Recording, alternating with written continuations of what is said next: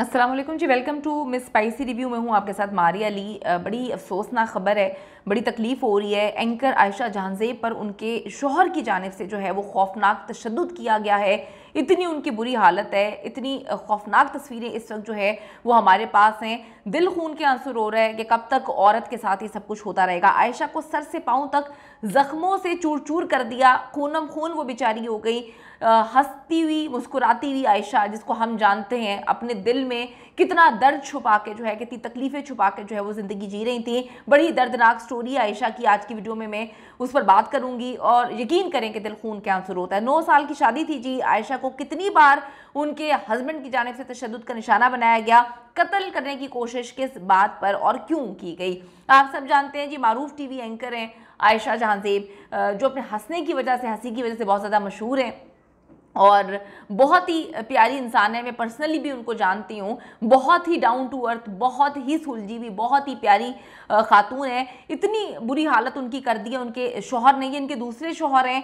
इतनी बुरी हालत कर दी है, यकीन करें कि मेरा तो दिल खून के आँसू रो रहा है, इतनी तकलीफ़ हो रही है कि एक औरत जो कि दुनिया को हंसाती है, दुनिया के सामने हंसती रहती है, असल में वो बेचारी कितनी टूटी हुई है, कितनी तकलीफ़ों से गुजर रही है। मारूफ टीवी एंकर आयशा जहांजेब पर मुबैना तशद करने के केस में उनके शोहर हारिस को जिस वक्त गिरफ़्तार किया गया है। वज़ीर अला पंजाब की सख्त हिदायत पर जो है एज सुन एज पॉसिबल इस मामले को देखा गया और गिरफ़्तार किया गया इस शख्स को। आयशा जहांजेब ने मौकफ अपनाया कि शोहर ने रवा साल तीन से चार बार उनको शदीद तशद का निशाना बनाया है।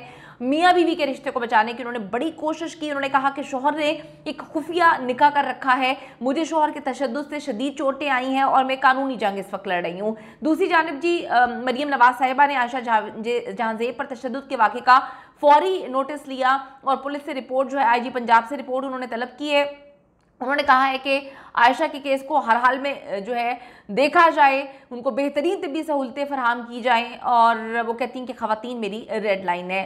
आप देखिए कि किस तरह से ख़वान जो कि मीडिया पे नहीं आती पढ़ी लिखी हो या गाँव देहात की रहने वाली हो, अगर उनके शोहर उनको तशद का निशाना बनाते हैं तो वो अपनी बात दुनिया के सामने नहीं रख पाती। यहाँ पर एक ऐसी इंसान जो इंडिपेंडेंट है, जो मीडिया की है, जो आप लोग उनको जानते हैं उनके साथ इतना बुरा सलूक किया गया तो आप देखें हमारे मुल्क में खातन के साथ क्या सलूक किया जा रहा होगा।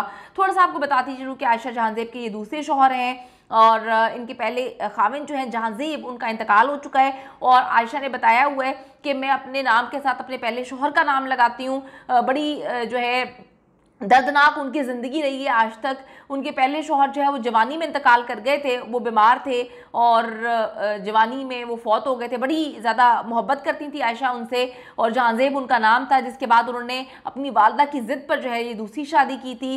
आपको मैं बताती चलूँ कि आयशा ने दूसरी शादी, उनके सिर्फ़ एक ही बेस्ट फ्रेंड थे, हारिस उनका नाम था और उन्होंने अपने बेस्ट फ्रेंड हारिस से ये दूसरी शादी की थी, जिससे बाद में जी इनकी ज़िंदगी बड़ी अच्छी चल रही थी मामला बड़े अच्छे चल रहे थे। उन्होंने हमेशा से अपनी ज़िंदगी में जितनी भी कामयाबियाँ हैं, उसका क्रेडिट अपने दूसरे शोहर हारिस को दिया। उनकी तारीफ़ें करती हुई नहीं थकती थी और, जो है, लेकिन 2024 में हालात बहुत ज़्यादा ख़राब हो गए, दोनों के मामला ख़राब हो गए। उन्होंने शादी कर ली, खुफिया निकाह कर लिया, फिर मोहब्बत जो है, वो डाइवर्ट हो गई कहीं और। जो एक बेस्ट फ्रेंड थे, वो फिर इतने जालिम जाबिर खाविन बन गए कि उनको ये भी एहसास ना हुआ कि मैं किस तरह से उस औरत को जो आ, मेरी तारीफ़ें करते नहीं थकती मैं उसको इतना मार रहा पीट रहा हूँ। मेरे पास तस्वीरें वीडियोस मौजूद हैं। यकीन करें हम दिखा नहीं सकते यहाँ पर यूट्यूब की पॉलिसीज़ हैं। लेकिन मेरा दिल खून के आँसू रो रहा है कि किस तरह से औरत जो है जितनी मर्ज़ी टैलेंटेड हो पढ़ी लिखी हो जितना मर्ज़ी नाम हो कब तक मर्द के तशद का निशाना बनती रहेगी? क्योंकि मर्द कोई और नहीं उसका अपना शोहर है।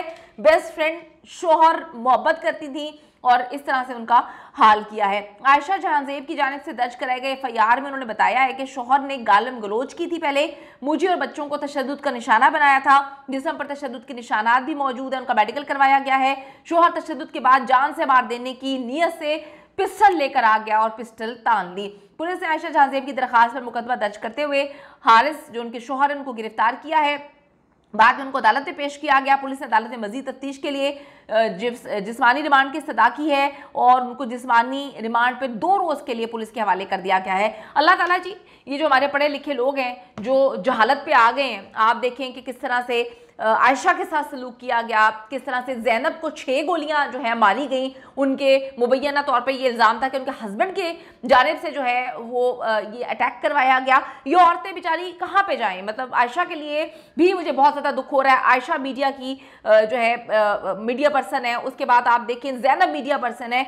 उनके साथ इतना बुरा सलूक किया जा रहा है तो बाकी बेचारी खातन के साथ क्या कुछ किया जाएगा या क्या कुछ हो रहा होगा? ये वीडियो यहाँ पर बनाने का मकसद ये है कि आप लोगों के अंदर अवेयरनेस आए कि भाई, कब तक जुल्म आप लोग बर्दाश्त करते रहेंगे? आवाज़ उठाएँ और इस वीडियो को ज़्यादा से ज़्यादा शेयर करें ताकि हुकाम बाला तक ये वीडियो पहुँचे और आयशा को एज सुन एज पॉसिबल इंसाफ मिले और जो भी दरिंदा, दरिंदगी कर रहा है, उसको कैफरे किरदार तक पहुँचाया जाए।